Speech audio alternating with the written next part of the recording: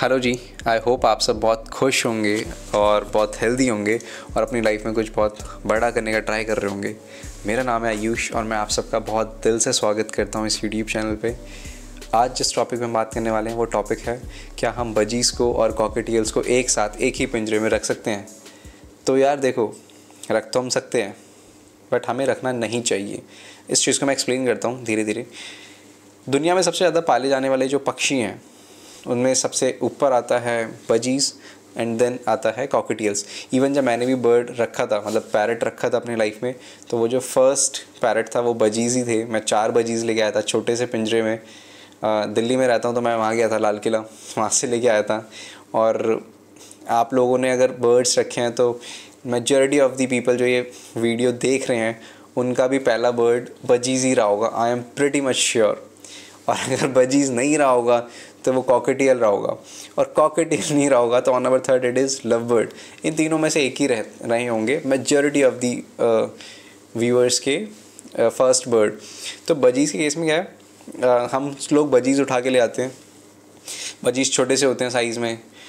But scene क्या है? वो छोटे से होते तो हैं बट वो बहुत ज़्यादा एनर्जेटिक बर्ड्स होते हैं बजीज़ और कॉकेटियल्स के केस में क्या है? कॉकेटियल्स इन जनरल बहुत काम, बहुत शांत स्वभाव के पक्षी होते हैं। मतलब अगर हम कंपेयर करें तो जो कॉकेटियल्स हैं कॉकेटियल्स एकदम गाय टाइप के होते हैं, वो एकदम शांत रहना पसंद करते हैं। बहुत बहुत सटल बर्ड्स होते हैं। और वहीं अगर बजीज़ की बात करें बजीज़ कभी इधर उड़ के जाएगा, कभी उधर उड़ के जाएगा। तो अगर हम चाहें बजीज़ को और कॉकेटियल्स को एक पिंजरे में रखना, हम रख सकते हैं बट जनरली क्या होता है, इन दोनों में लड़ाइयाँ हो सकती हैं। बजीज़, लड़ाई अगर नहीं भी होंगी तो बजीज़ क्या है? इधर उधर इधर उधर फ्लाई करना पसंद करते हैं कॉकेटियर जनरली पसंद करते हैं, अपनी पर्च पे बैठना, अपने आप को प्रीन करना, अपने पंखों को साफ़ करना, जो उसके बेकार पंख उसको निकालना तो ये सब कॉकेटियल्स ऐसे, इस टाइप के बर्ड्स हैं। बजीज़ कैसे हैं? बजीज़ एक्सप्लोर करना बहुत पसंद करते हैं। कभी इधर उड़ के जाएँगे, कभी उधर उड़ के जाएँगे, कि केज में अगर हमने कोई नया टॉय डाला है, वो वो देखना पसंद करते हैं। अब सीन क्या है? इससे कॉकेटियल्स को प्रॉब्लम होती है। बजीज को इतनी खास प्रॉब्लम नहीं होती। कॉकेटियल्स को क्या प्रॉब्लम होती है? कॉकेटियल्स स्ट्रेस्ड आउट हो जाते हैं कि जब इतनी एनर्जी क्योंकि दोनों बर्ड्स की डिफरेंट एनर्जी का लेवल है। जब इतनी मतलब एक होता है, उन्नीस बीस का फ़र्क है। बट इनमें बहुत ड्रास्टिक फ़र्क है। तो इसमें प्रॉब्लम क्या आती है कि इतने ज़्यादा एनर्जी के डिफरेंस को मेंटेन करना बहुत मुश्किल होता है। एक इतने हाई एनर्जी के साथ केज में इधर उधर उड़ेगा और एक शांति से बैठा रहेगा पिंजरे में। तो उसमें उसमें ये प्रॉब्लम आती है कि कॉकेटियल्स स्ट्रेस्ड आउट हो जाते हैं। कॉकेटियल्स उस पिंजरे से बाहर तो निकल नहीं पाएँगे, हमने पिंजरा बंद बंद कर रखा होगा।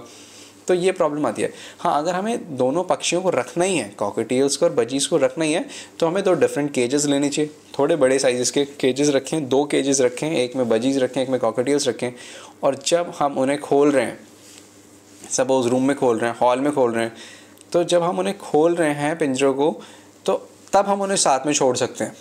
क्योंकि अगर बजीज से परेशान होंगे कॉकेटियल्स तो वो उड़ के कहीं और बैठ सकते हैं। बट अगर एक ही पिंजरे में हमने रख दिया तो बजीज का भी उनको प्लगिंग मतलब बजीज कॉकेटियल को अगर प्लग करेगा तो कॉकेटियल इधर उधर बहुत तेज होते नहीं इधर उधर भाग नहीं पाएँगे।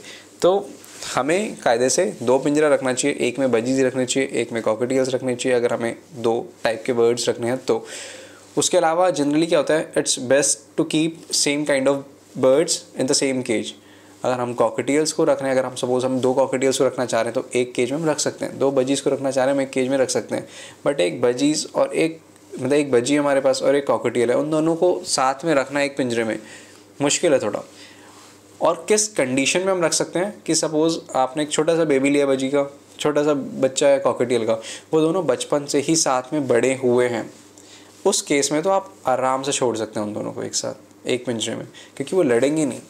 बचपन से साथ में अब ब्रिंगिंग हुई है तो फिर तो सीन डिफरेंट हो जाएगा। बट अगर हम एक शॉप से लेके आए हैं, दूसरा भी कहीं शॉप से लेके आए हैं, और बजीज़ को बजीज़ स्टार्टिंग से बजीज़ के साथ रहा है कॉकेटियल से स्टार्टिंग से कॉकेटियल्स के साथ रहा, फिर जब वो एक केज में आएँगे तो बहुत ज़्यादा प्रॉब्लम आती है। तो it's better to keep them separate separate हाँ। तो अलग रखिए उन्हें, और this is it for the video thank you so much अगर आपने वीडियो पूरी देखी हो और ऐसे जुड़े रहिए और प्लीज़ कमेंट uh, करिए नेक्स्ट वीडियो किस चीज़ के ऊपर होनी चाहिए। I try to make that video as soon as possible thank you so much